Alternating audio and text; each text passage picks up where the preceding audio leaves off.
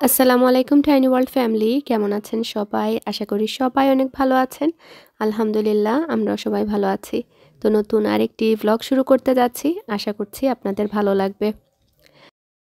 সকাল সকাল ফালাক আজরাকে একদম ফ্রেশ করে রেডি করে দিয়েছি। আমার ভালো লাগে যখন ওরা কোঅপারেট করে একটু শান্তিতে। তখন মনে হয় যে আমার মতো সুখী মানুষ মনে হয় পৃথিবীতে একটাও নেই। আলহামদুলিল্লাহ ফর এভরিথিং তো যাই হোক, আজকে সকালটা খুব সুন্দর হয়েছিল। এক এক দিন দেখা যায় আসলে এক এক রকম যায়। তো বাচ্চাদের মুডের উপর দেখা যায় পুরো দিনটা সেট হয়। কোনো দিন ওরা দেখা যায় খুব ক্র্যাঙ্কি হয়ে ঘুম থেকে উঠে, আবার কখনো দেখা যায় ঘুম থেকে উঠেই একটা সুন্দর শান্ত মাইন্ডসেট নিয়ে আর ওই দিনটা দেখা যায় আমার খুব ভালো যায়। তো আজকে মনে করেছি যে আলহামদুলিল্লাহ আজকের দিনটাও এরকম একটা ভালো দিন যাবে, এই আশায় আর কি পুরো দিনটা শুরু করা। তো আমরা কিন্তু ঠান্ডার দিনে দেখা যায় এরকম শেডটা বেশি একটা তুলি না, কারণ বাইরে থেকে প্রচণ্ড ঠান্ডা চলে আসে। আর শেড ফেলা থাকলে হয় কি, ঠান্ডাগুলো মনে হয় যে একটু কম থাকে। তো দুই ভাই বোনকে এখানে টিভি ছেড়ে দিয়ে, টিভিটা কিন্তু ওদের জন্যই লাগানো, যাতে করে ফ্যামিলি রুমে না যায় আর এখানে বসে খাওয়া দাওয়া করে। কিন্তু দুঃখের বিষয় হলো, যতই টিভি থাকুক, ওরা দেখা যায় ঘুরে ফিরে ফ্যামিলি রুমেই যায়। ওইখানে গিয়ে টিভি দেখবে, ওইখানে গিয়েই খাবে। যেমন এই একটু সময় এখানে সিরিয়াল খাবে, তারপরে দেখা যাবে আমাকে বায়না ধরবে যে ওই রুমে চলে যাওয়ার জন্য। আমি বললাম, না, আম্মু, আজকে এখানে বসে খাও। আর খুব ভালো মানুষ হয়ে খাচ্ছিল একটু পরে, আর খায় না। দেখা যায় পরে মুখে তুলে আবার দিতে হয়। তারপরও খুশি, আলহামদুলিল্লাহ, যে দুই ভাই বোন আজকে মেজাজ মানে ঠান্ডা আছে। শান্তিতে আপনার বসে একটু খাওয়ার চেষ্টা করছে। তো যাই হোক আমি কিন্তু গতকালকে আপনাদের সাথে শেয়ার গতকালকে না আগের দিন শেয়ার করেছিলাম। আমার ফ্যামিলি রুমটা সাজিয়েছি। আমার থামনেল দেখে অনেক আপুরা হেসেছেন। তো আসলে হ্যাঁ মজাই লেগেছে যে আমি লিখেছিলাম আমার স্বপ্নের বসার ঘর। তো অনেক আপুরা পড়েছেন আমার স্বপ্নের বাসর ঘর। তো এটা শুনে আমি নিজেও হাসতে হাসতে নাই। আজকে কিন্তু টিকটক ভাইরাল সেই ক্রিমি একটা আবারও বানাচ্ছি। ইয়েস মামি আমাকে পাগল করে ফেলেছে ও ক্র্যাক করবে হাত আজ জ্বালাইবে আজ জ্বালাইবে ও মাই গো ওইসে ওইসে বাবা বাবা আমার thank you thank you You cracked egg. Okay, shabash, mashallah. You did it. Good job. এই চিলি অয়েলটা দিচ্ছি স্পাইসি চিলি ক্রিস্প আর আজকে পেঁয়াজের পাতাও আছে পেঁয়াজের পাতা ইয়া তুমি হেল্প করলিছো মারে এনাফ হেল্প হইছে থ্যাংক ইউ না আর হেল্প করা লাগতো না। ওগুলি তাই নি ওকে দেও দেও হেল্প করো। সব তাই। ও এখন হেল্প করতে চায়। ওকে ওকে গরম গরম হাত। না আর হেল্প করা লাগতো না। অত হেল্পারের দরকার নাই। এই দুইটার যন্ত্রণায় আমার আজকে নাস্তা বানানোই শেষ। এই যে পেঁয়াজের পাতা কোনো মতে কাঁচি দিয়ে কেটে দিয়েছি।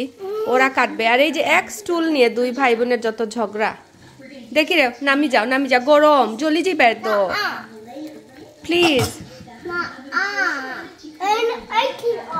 থ্যাংক ইউ বাবা। Thank you for listening to মামি ইয়া আল্লাহ ফালাক দাসনি তুমি যেটা করো আজরাকে ওটা করে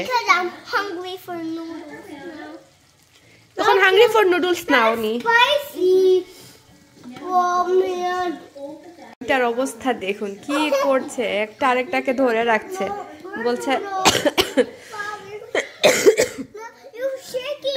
আমার এটা হয়ে গিয়েছে। হয়েছে নামি যাও আল্লাহর বাস্তা তোমরা নামি যাও। ইটস ডান থ্যাংক ইউ অবশেষে ডিমটা চুলা থেকে নামলো। তো এখন হচ্ছে আমি ডিম নিয়ে খেতে বসবো। এখন আমি খাব। আমি দুইটা ডিম নিয়েছি আমার জন্য এখন তিনটা নিয়েছে। থাক একটা রাহি আসলে খেতে পারবে। এ ওকে খাওয়াই দি আমার ঘরে রান্না বান্না বলতে কি আম্মা রান্না করে গিয়েছিলেন টুকটাক খাবার আছে। আর এখন একটু পাস্তা বানাবো কারণ আদিয়ান ওইগুলো খেতে চায় না। আর রাহিরও খেতে ভালো লাগে না মাছ জাতীয় খাবার ওরা খুবই অপছন্দ করে। তো আদিয়ানের বাবাকে বলে দিয়েছি আসার সময়। ওয়ারেন ইটস থেকে রোস্টার পোলাও নিয়ে আসার জন্য ওই দিকে গিয়েছে আজকে ওর মিটিং আছে ওইদিকে। তো যাই হোক এখন আমি পাস্তা বসিয়েছি। আমার পাস্তা বানানো শেষ। মন মতো করে যা ইচ্ছা তা দিয়ে পাস্তা বানিয়েছি. চিজ আর শ্রিম্প দিয়েছি পুরো এক প্যাকেট আলফ্রেডো সস দিয়েছি দিয়েছি টমেটো কেচাপ দিয়েছি আই মিন পিউরে দিয়েছি। তারপরে সব ধরনের ইটালিয়ান হার্ব তারপরে basil leaf garlic powder onion powder এগুলো দিয়েছি। মুখে দিয়ে দেখতে হবে কেমন হয়েছে। ঝাল দিলে ভালো হতো বাট বাচ্চারা খাবে না, তো আমি চিলি ফ্লেক্স দিয়ে খাব। আদিয়ানের বাবা ওয়ারেন ইটসে গিয়ে দেখেন যে ওইটা ক্লোজ তখন ক্লোজ তো আর কি করা? খাবার আর আনা হয়নি। পরে বললাম যে আমার চটপটি খেতে ইচ্ছে করছে। হীরা ফিশ যে মার্কেট ওয়ারেনে পড়েছে, গ্রোসারি শপ, ওইখানের পাশে কিন্তু রেস্টুরেন্ট আছে ওনাদের এখানে চটপটি পাওয়া যায়। যারা জানেন না, তারা ট্রাই করতে পারেন। আমরা এই নিয়ে বেশ কয়েকবার খেয়েছি। খারাপ না, যখন আপনার চটপটির ক্রেভিং হয়, তখন সেখান থেকে নিয়ে আসতে পারেন। এটা যে ওয়ারেনের ওই যে কি বলে, আয়না মসজিদের পাশে যে হেরা ওর হীরা ফুড মার্কেট ওইটা থেকে আর কি। তো চটপটিটা খারাপ না খুব ভালোই লাগে কারণ ঝটপট তো আপনার রেডিমেড পেয়ে যাচ্ছেন।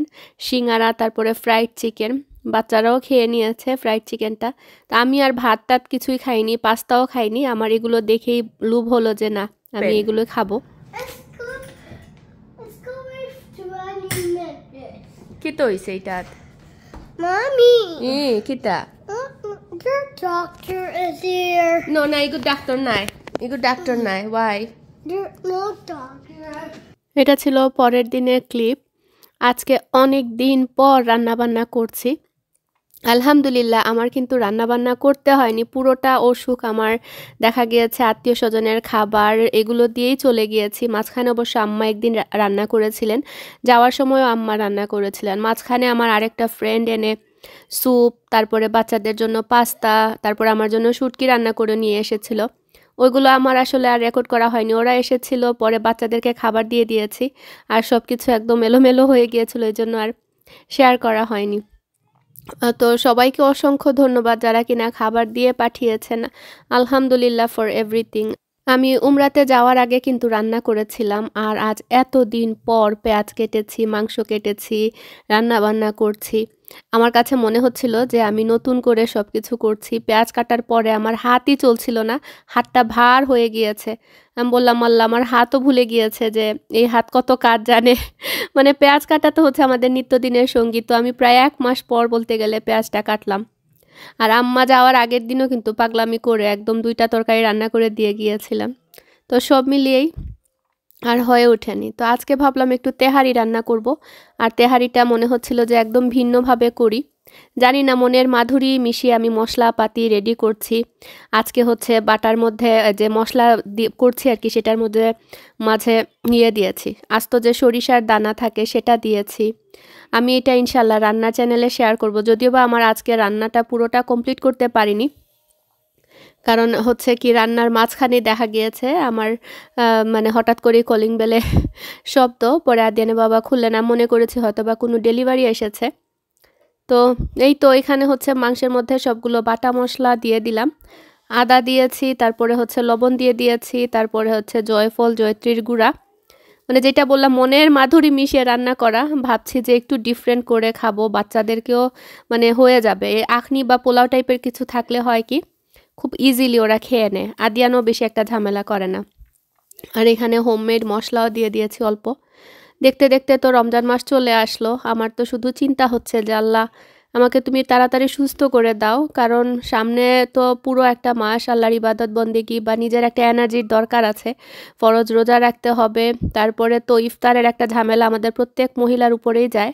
অবশ্য এটা হচ্ছে আমাদের জন্য একটা সোয়াব কামানোর বা কি বলব, আমাদের জন্য, এই মহিলাদের জন্য এটা হচ্ছে স্পেশাল একটা নিয়ামত যে আমরা এত মানুষের রান্নাবান্না করে খাওয়াই, কষ্ট করি ইফতার টাইমে তো সেটার জন্য তো এনার্জির দরকার আছে। বা ইফতারের পূর্বে একটা প্রিপারেশন থাকে। দেশের বাইরে যারা আছেন, তারা তো অবশ্যই আমার সাথে এগ্রি করবেন যে টুকটাক ফ্রোজেন খাবার কিন্তু ফ্রিজে না রাখলে আমাদের না হয়। মন- করেন সিঙ্গারা, তারপরে সমোসা। সিঙ্গারা না, সমোসাটা স্প্রিং রোলটা আর হচ্ছে আপনার একটু কোরমা করে রাখলে আমার খুবই বেনিফিট হয়, যেটা কিনা লাস্ট টু ইয়ার্স ধরে রেখে আমি আরাম পেয়ে গিয়েছি। কারণ ইফতার টাইমে ঝামেলা করতে ইচ্ছে করে না মানে পোলাওয়ের জন্য বিশেষ করে। আখনিটা করতে চাইলে দেখা যায় মাংসটা রেডি থাকলে আপনি জাস্ট ফ্রিজ থেকে বের করে ওইটা ঢেলে দিলেই আপনার হয়ে যায়। তো চাচ্ছি যে এই কাজগুলো অ্যাটলিস্ট করে রাখতে, এতে করে আর এখন তো আরও হচ্ছে আমাদের শর্ট ডে আগে লম্বা দিন পাওয়া যেত, এখন তো একদম দিন ছোট হয়ে এসেছে। আমাদের ছয়টা নয়ে এখন মাগরিবের আজান পড়ে। তো এই জন্যই আর কি চিন্তা করছি, আল্লাহ জানে কীভাবে কি হবে। আল্লাহর কাছে দোয়া করছে, আল্লাহ যাতে একদম আমার এনার্জিটা ব্যাক করে দেন। তো এই যে বলেছিলাম, রান্নায় থাকতে থাকতে বেলে টিপা পড়েছে। আদিনে বাবা খাওয়ায় বসেছিলেন, ঘরে যা ছিল। তো আমাকে বলছেন, দেখো, আমাদের ওর ফ্রেন্ড প্লাস ফ্রেন্ডের বউ, আমারও ফ্রেন্ড আলহামদুলিল্লাহ। এখানে তো সবাইকেই পেয়েছে আদেনে বাবার থ্রুতে কিন্তু কিছু কিছু সম্পর্ক এত ক্লোজ হয়ে গিয়েছে। নিজের বোন থাকলে যেরকম আদর পেতাম, এরকমটাই পাই। আলহামদুলিল্লাহ ফর এভরিথিং তো এত খাবার দিয়ে পাঠিয়েছে। আমি বললাম মিশ্রে যদি জানতাম, তাহলে তো আমি আজকে রান্নাঘরে ঢুকতামই না। আর এত খুশি লাগছিল যে সত্যি, এটা তো অনাকাঙ্ক্ষিত একদমই। আমি পুরাই সারপ্রাইজ হয়ে গিয়েছিলাম। তো এত এত খাবার, আমি বললাম আল্লাহরে ফ্রিজের মধ্যেও কিন্তু আরও খাবার রয়েছে। কারণ যেহেতু আমি মানে এত বেশি সময় দিতে পারি না সংসারে এখন অসুস্থতার কারণে ফ্রিজের মধ্যে যেটা সামনে পান ওনারা আদিয়ানে বাবা বিশেষ করে সেটাই খেয়ে ফেলেন। এই যে এখানে ও পিঠাও করে পাঠিয়েছে। আর একদম গরম গরম গরুর মাংস। তো আমি কিন্তু দুপুরে খাওয়ার সময় বলছিলাম যে এখন আর খাব না পিঠা। ইনশাল্লাহ আগামী কালকে সকালবেলা আমাদের নাস্তা হয়ে যাবে মাংস দিয়ে পিঠা। আর এখানে কচুর লতি ছিল, ঝাল করে একদম। আর এখানে হচ্ছে আপনার আমি বলি আমরা সিলেটিরা আম দিয়ে মানে শুকনা আম আর কি, সেটা দিয়ে ছোট মাছ মানে সবগুলোই হচ্ছে অসুস্থ মুখে যেগুলো ভালো লাগবে।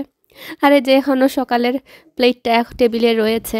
কাজ করতে না আমার মোটেও ইচ্ছে করে না, এত আলসিয়েমি এসেছে। মানে অসুস্থতার জন্যই মনে হয় এরকম হয়েছে, প্লাস শরীরটা বসে গিয়েছে কাজ না করতে করতে।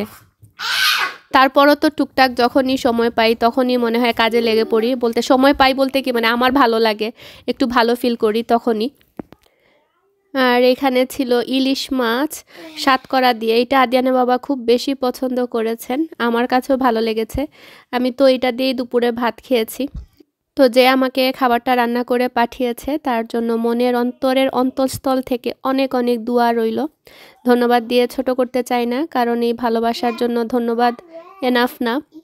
আলহামদুলিল্লাহ, কিছু কিছু সম্পর্ক থাকে আসলে। মুখ দিয়ে বলতে হয় না, মন থেকে দোয়া চলে আসে। রক্তের সম্পর্ক না হয়েও সামটাইম দেখা যায় রক্ত থেকেও বেশি। আর এই সম্পর্কের জন্য আল্লাহর কাছে সব সময় শুক্রিয়া আদায় করি। আর আমি সব সময় মনে প্রাণে এটাই দোয়া করি, আল্লাহ তালা আমাদেরকে যে যে সম্পর্কের মধ্যে রেখেছেন, সেই সম্পর্ক যেন সব সময় একদম অটুট থাকে। আমিন। তো এখানে আমি তো একদম পেস্ট টেস্ট করে রেখেছিলাম যে তেহারির জন্য। আর ভেবেছিলাম আমি দুইটা চিকেনও বের করেছি। ভেবেছিলাম যে চিকেনটাও রোস্টের মতো করে ফেলব। তো এখন যেহেতু রোস্ট করছি না, ভাবলাম বাচ্চাদের জন্য ফ্রাইড চিকেন করে ফেলব। আর এই মশলাটা এরকম একটা বাটিতে নিয়ে নিয়েছি। এটা আমি এখন একটা মানে প্লাস্টিকের বাটি যেটা ডিপ ফ্রিজে রাখা যায় আর কি, তো এটা আমি ডিপ ফ্রিজে রেখে দেবো, এতে করে হবে কি, পরে যখন আমার রোস্ট বা এই ধরনের তেহারি বা কোনো কিছু খেতে ইচ্ছে করবে জাস্ট মশলাটা বের করেই আমি রান্না করতে পারব। আপনারা চাইলে এরকম রমজান মাসের জন্য করে রেখে দিতে পারেন। খুবই হ্যান্ডি কারণ এই পুস্তদানা, বাদাম, এগুলো বাটাবাটি কিন্তু অনেক ঝামেলার মনে হয়। ইনশাল্লাহ চেষ্টা করব। যদি পারি, আমি যেটাই করি, আমি আসলে সব সময় বলি, আমি ইউটিউব চ্যানেলের জন্য যে আমার খুব বেশি আহামরি করে আমার এই রেসিপি করতে হবে, ওই রেসিপি করতে হবে, আমি এটা কখনোই করিনি জন্য হয়তো বা আমার এত টায়ার্ডও লাগে না। আমার পরিবারের জন্য যেটা মনে করি আমি করব বা আমার বাচ্চারা পছন্দ করবে, ওই জিনিসগুলোই আপনাদের সাথে শেয়ার করি। আর আলহামদুলিল্লাহ আপনাদের অনেক অ্যাপ্রিসিয়েশনও পাই। আর চিকেনগুলোকেও কিন্তু আমি একটু আদা রসুন মাখিয়ে রেগুলার ফ্রিজে রেখে দিয়েছি। ইনশাল্লাহ আগামীকালকে ফ্রাইড চিকেন করব। আর এখানে ফালাকের আজকে স্কুল ছিল আর ভ্যালেন্টাইন্স ডে পার্টি ছিল ওদের ক্লাসে মনে হয়। তো বাচ্চারা সবাই এরকম গিফট আদান প্রদান করে। তো ফালাকও এক বস্তা গিফট নিয়ে এসেছে। তো সবাই ভালো থাকবেন। আজকের মতো এতটুকুই। ইনশাল্লাহ আগামী ব্লগে আপনাদের সাথে আবারও কথা হবে। আসসালামু আলাইকুম।